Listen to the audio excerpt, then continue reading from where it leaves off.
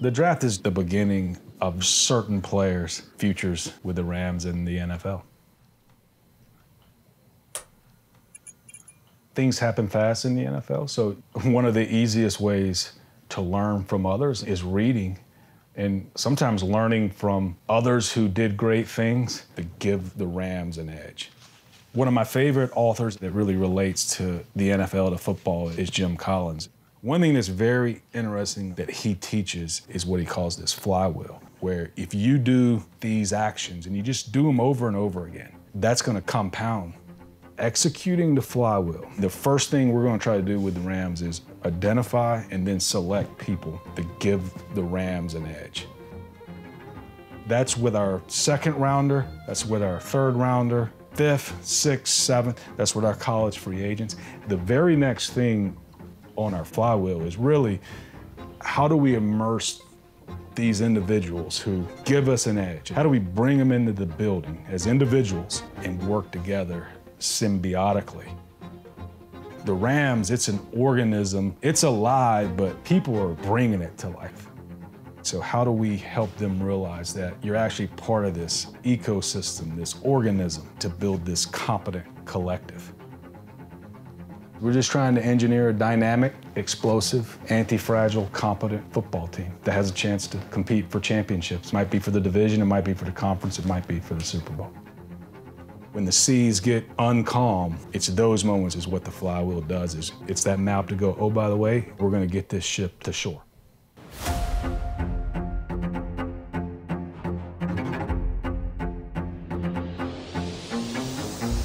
Hey, if we draft you, you wanna come play for us? Oh, 100%. Oh man, then we're gonna do it. Going to the Rams. The Los Angeles Rams select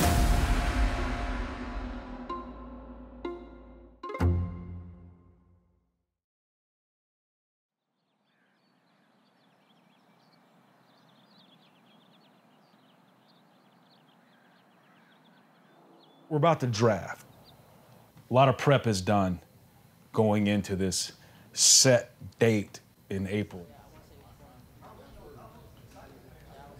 The element of building something to last, there's going to be different phases that you're in. There's no secret, right? We, we were definitely in a phase where we had a very competent core growing into their prime together. I feel very comfortable about him if you would draft him. The week of the draft and the dialogue that comes with it looks a little different than the months that were preceding. You're able to be a bit more pointed in your questioning. You're going to get some specific responses that are really going to allow the fog to clear. Would you draft him late? Think five, six, seventh round. That guy has outstanding ball skills. I mean, some, some of the best of it in my area. Yeah, I think I've articulated if you draft him to go A to B fast, got a chance. The best part about the way in which Les leads this group is that he allows them to be themselves. He allows them to own their piece to the puzzle. And beyond that, it's up to each of us individually to uh, ensure that we come through. At the end of the day, once we identify these people, at some point they'll be the Matthew Stafford, Cooper Kupp, Tyler Higbee, eh, you know, Aaron Donald, players like that who have been here a while, and they'll pass the torch. And, and the formula is always being able to pass the torch at the right times, and that's the the art of the equation. We can talk about Stetson Bennett. That's what I just said. Yeah. Is that real? He wants I'm to recommend some guys. I like him. Time will tell.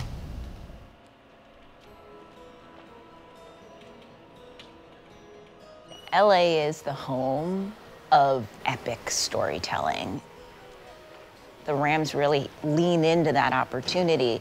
The draft film sets the tone for us, and we establish the tone and tenor of who we are and what we're made of.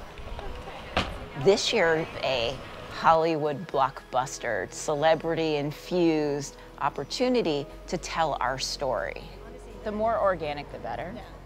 Cheech Marin, Bryan Cranston and Aaron Paul, Josh Duhamel, as well as Diplo, all featured within the film, really bringing their respective labs to life.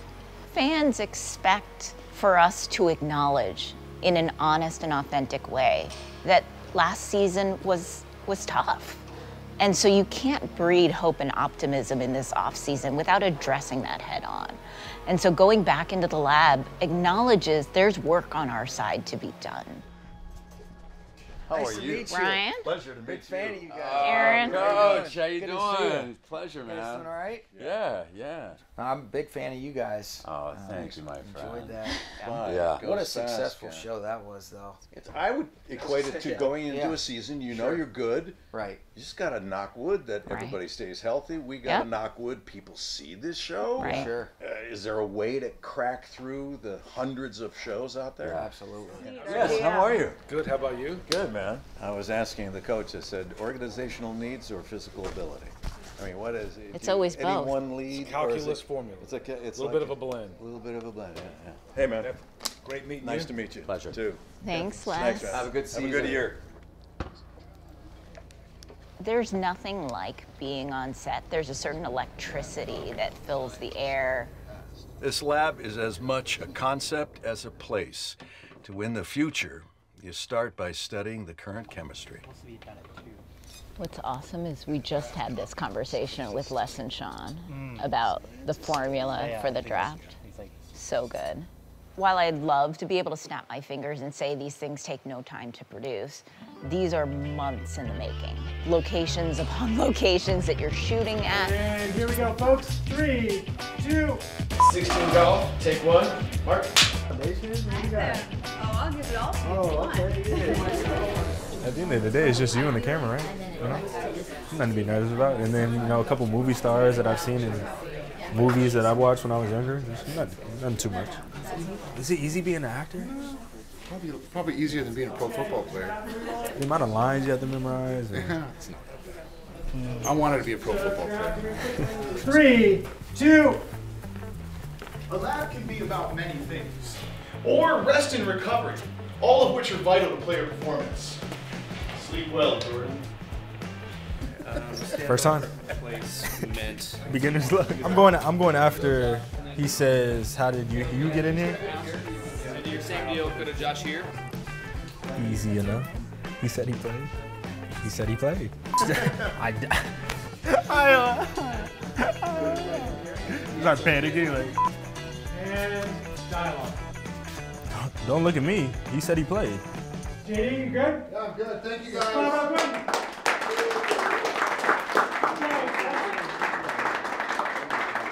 Wrap, folks. We get out here very safely, not in a rush, okay?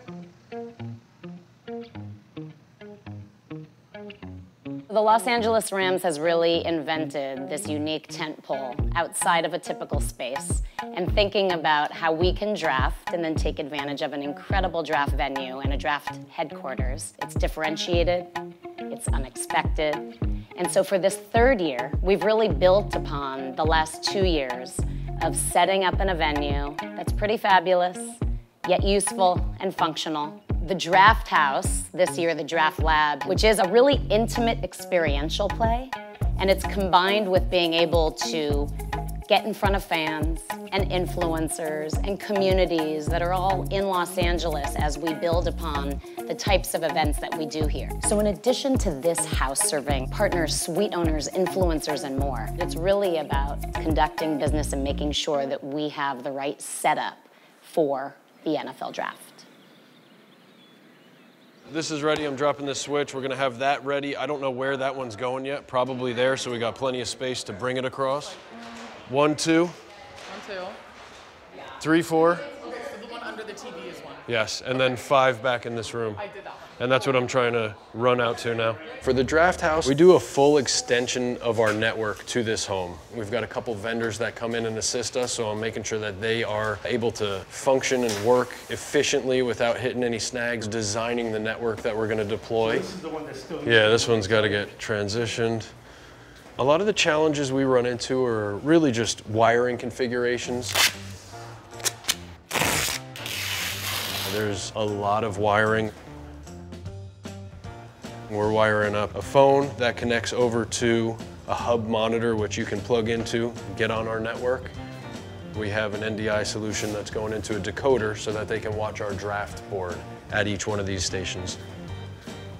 And then we connect that to our firewall and our switching network, which we deploy throughout the house to build our draft room as our primary location.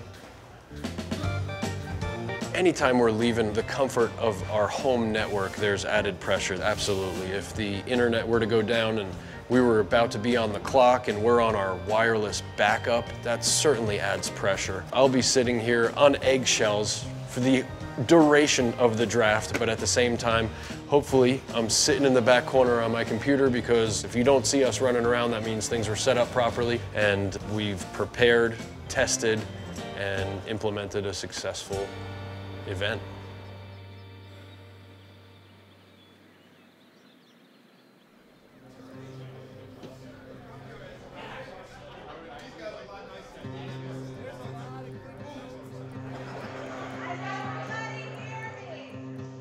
Have a sign that says the draft isn't till April. A lot of prep is done going into this set date. Pretty straightforward. For draft day, we got 11 picks currently. One in the second, two in the third.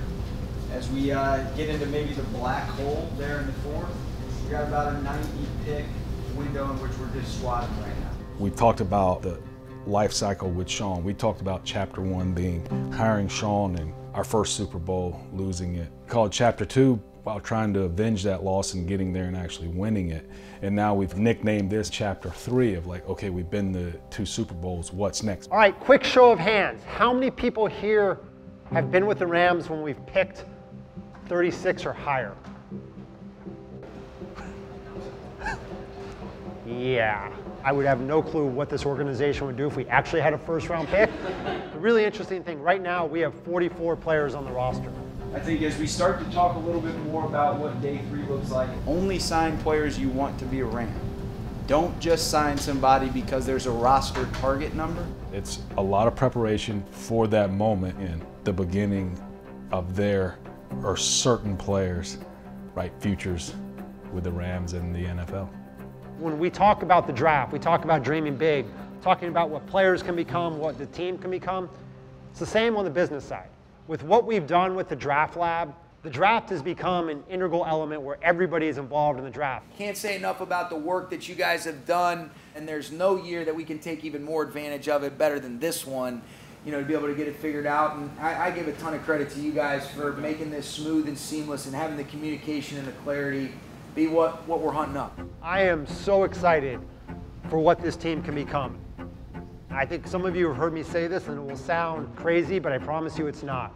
I am more excited about this team going into 2023 at this point in the year than I was for last year's team going into 2022.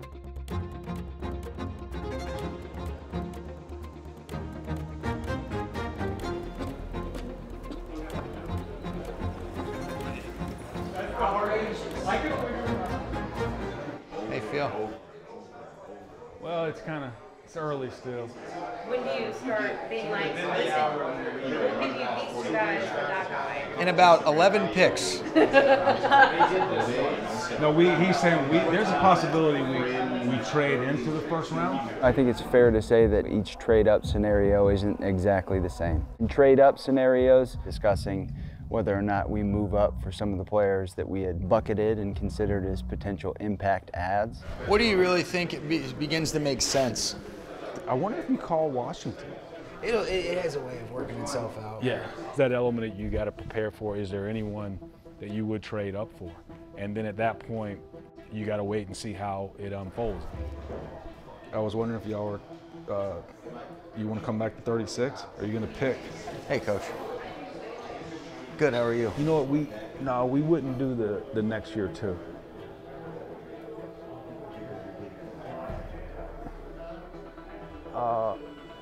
Again, I don't mind talking about next year, but yeah, this year picks would be better. Is anyone within reach willing to dance with us in a trade? So that that's the the part that's fun because you just don't know. If this, if these guys go, I've been talking with O'Connell. I think they're trying to get out. Would that still make the most sense for us? Hey, this is Les Rams.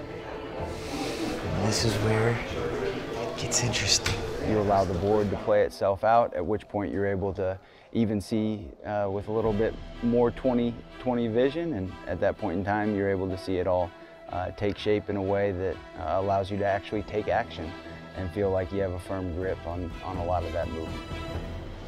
Damn, that really eliminates our abilities to go up then, doesn't it? I don't know what the world thinks we need. Seems like they say we need everything.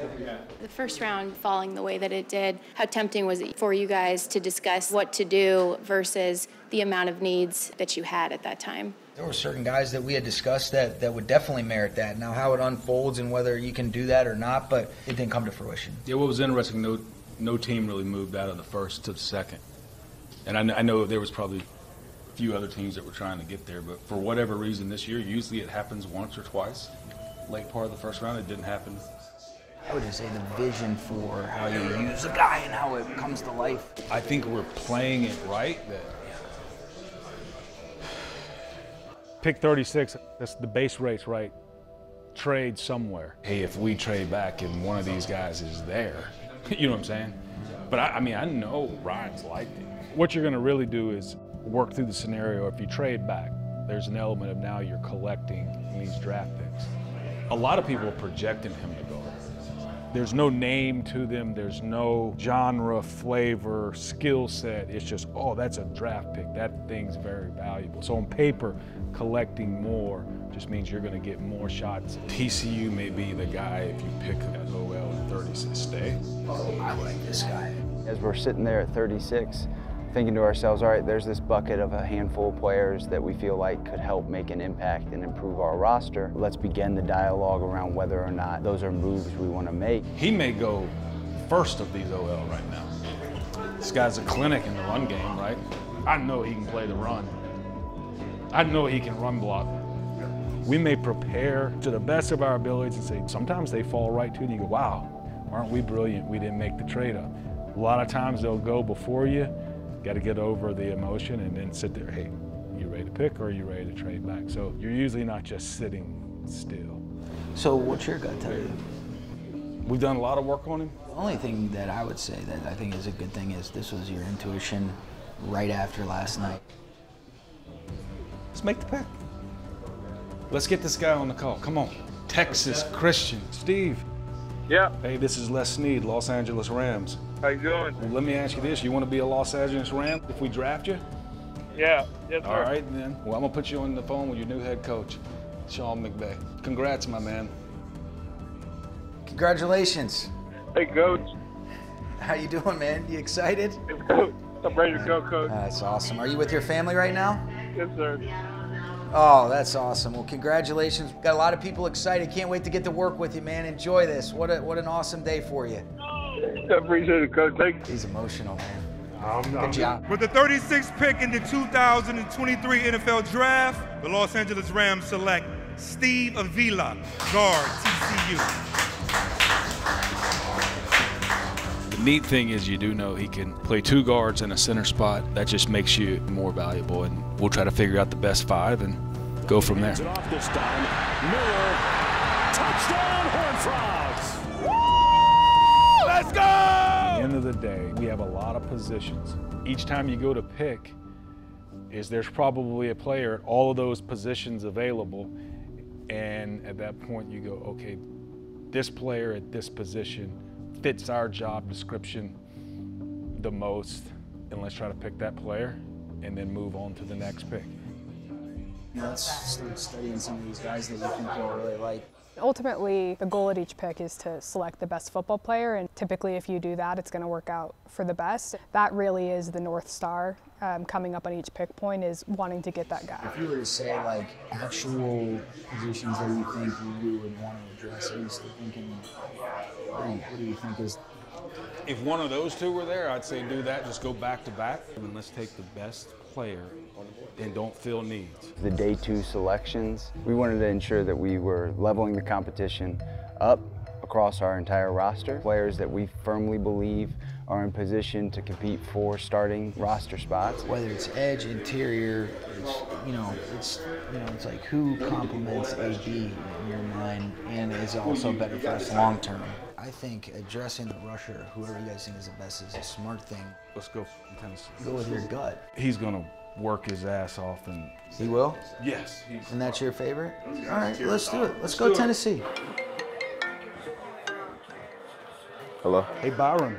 Les Snead, Los Angeles Rams. Hey, you ever dreamed of playing in the NFL? Yes, sir. Do you want to play for the Rams? Yes, sir. All right, man. We're going to draft you. The Los Angeles Rams select Byron Young. Out of high school, didn't sign with anyone. Ended up working Dollar General, then walking on at a junior college in Georgia. And at the end of the day, he ends up getting to Tennessee. There's a story there that, wow, this guy was hungry. Pressure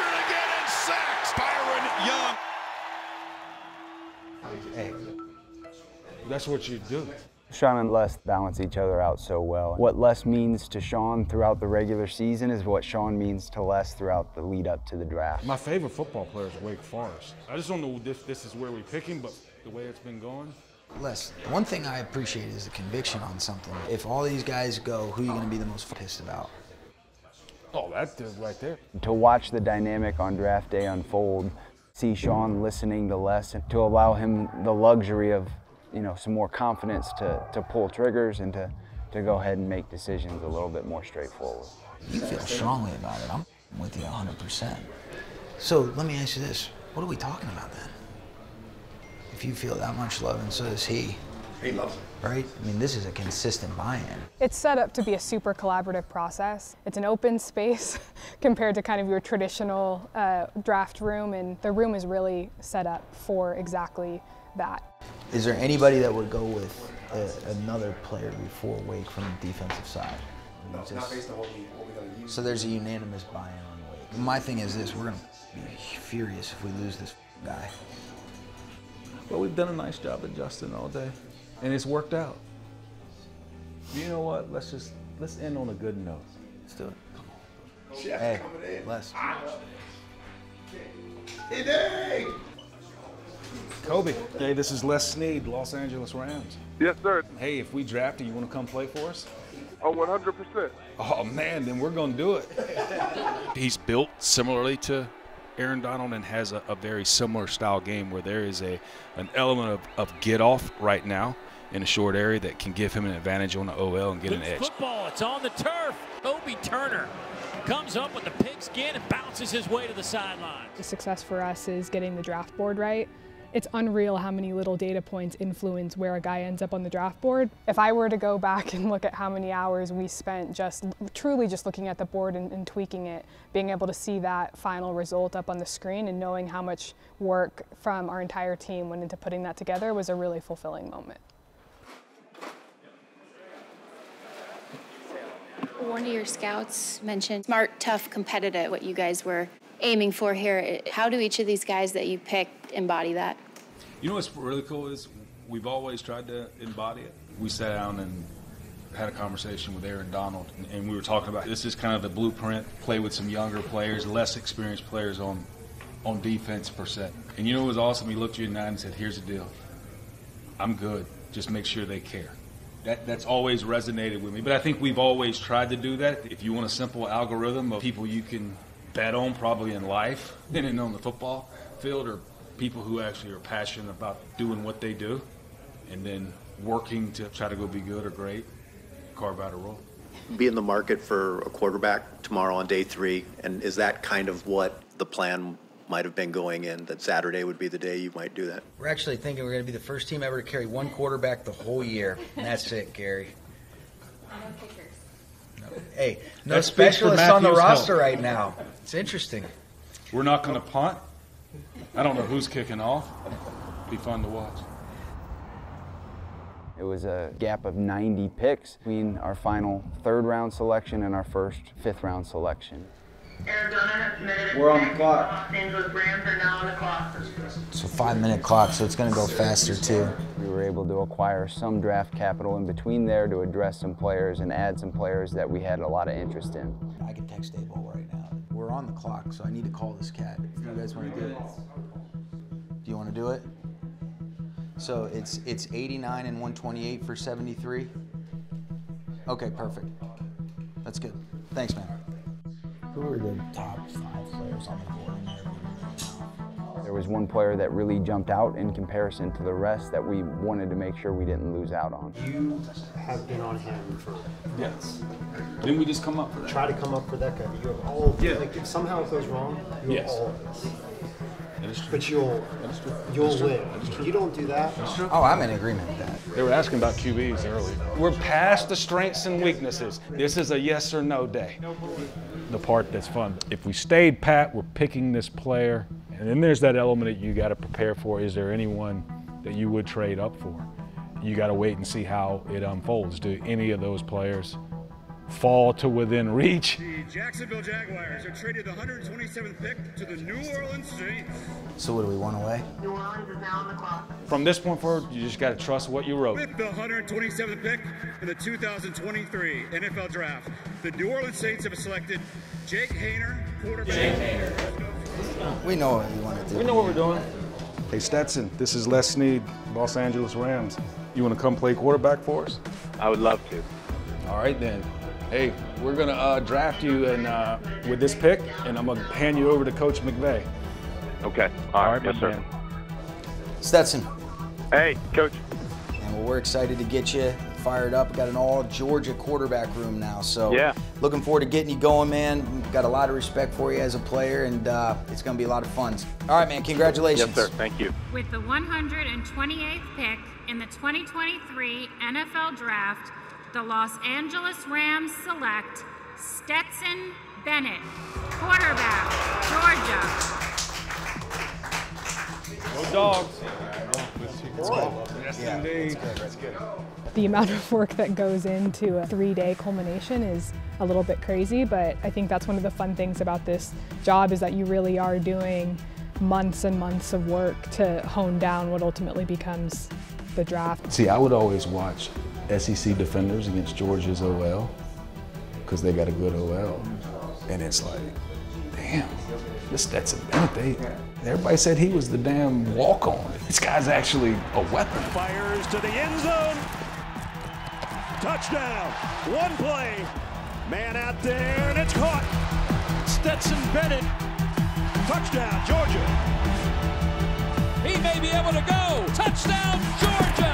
Oh, my. Stetson Bennett. No doubt. We got 161 to 189. Where are we at right now? We've got six picks. It's going to go fast when we start at 161. Like, I think this guy would be really good for us, Les. We're gonna nail that pick. We're, we're controlling the draft here soon. It's really cool how much expertise there is in the room. There's really not a single question that Les or Sean can ask that's not answered within five seconds. The decision making becomes super solid because of that collaboration. So, how do you see Georgia fitting into the mix? If you said of all four of those corners, who's got the best ability? Les, this guy's a G. May hit some home runs. Yeah, I think I would rather have the home run here. Henny actually really loves him. He's been wanting to draft him. So this is a hell yes. What's your gut tell you? Let's do that. The amount of work you guys have put in at this point, trust that. Oh, we're on the clock? Yeah, it's all right. You got three minutes. Imagine if you had to make a play call. Oh, you can be in this too long. This is a business and right, young man has a skill. How can that skill be useful to us? But I do think in that moment, especially when you get on the phone, somewhere along the way, each of those young men started playing maybe flag football. Then eventually they they put on shoulder pads and helmets and they were way bigger than their probably the shoulder pads and helmets were probably taller than their body. And then next thing you know, they're in middle school, high school. You think of all the hours really that went into, okay, maybe, maybe actually getting that phone call. Nick, Warren, Davis, hey Puka, Tre'Vius. Hey, this is Les Snead with the Los Angeles Rams. Whenever they get that call, there is, a, there is an emotion there that they were trying to thread the needle of, right, being in the 0.001% of high school kids that play football to, to get that call and to get that opportunity. You've been watching the draft? All right, then well, here's what we're about to do. If we draft you right here, you want to come play football with us? You want to come be a Ram? You want to come play for us? Going to the Rams. At